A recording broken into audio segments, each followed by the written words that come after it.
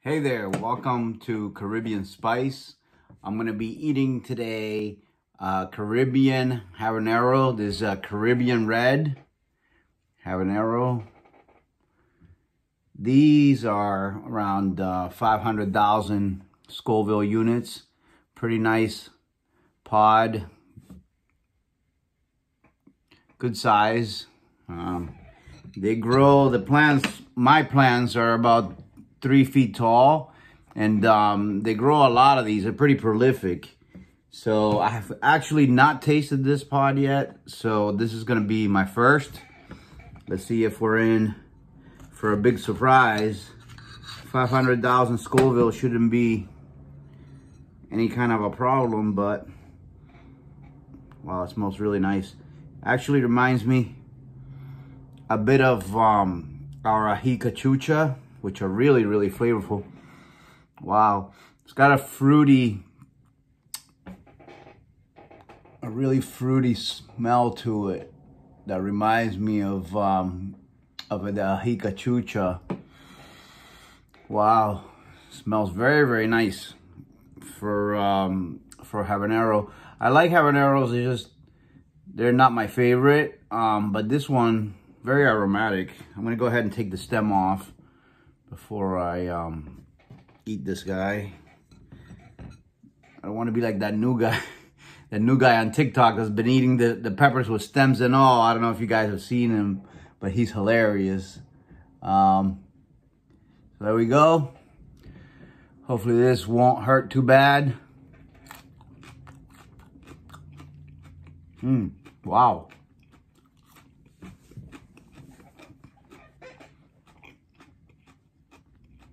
Mmm. Very sweet. Wow. Okay. Mmm.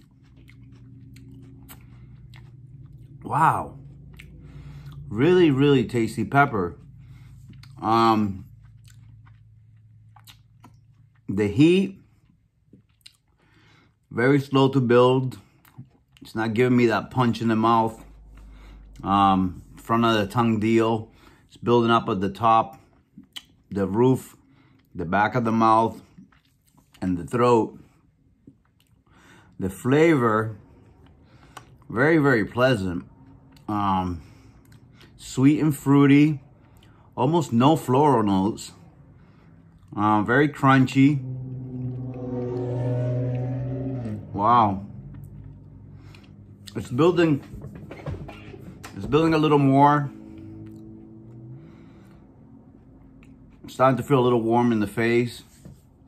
But uh, nothing crazy. I mean, my tolerance is, is now pretty high from eating so many hot peppers. And also I've been putting sauce and pepper powders um, on all my food. So um, my tolerance is definitely quickly getting uh, very high compared to what it was. I mean, stuff that I used to eat that seemed hot is like mild now. Um, so that's good. I'll be able to eat more and more hotter and hotter peppers for you guys and do these reviews. Um, but overall, uh, Caribbean Red Habanero, very tasty pepper, really, really sweet, crunchy, thin walls. Uh, I wouldn't say it had any floral notes really, which was surprising. I thought it was going to be um, floral, but not at all. Very, very good tasting pepper. I currently have not put seeds on the website yet for this, uh, but I will uh, once I collect some pods and, and deseed them. I just been really, really busy with um, with trying to get enough healthy plants for for the winter. So I hope you guys enjoyed the video. Remember to subscribe, give us a like, and share. And I'll see you really soon on the next one.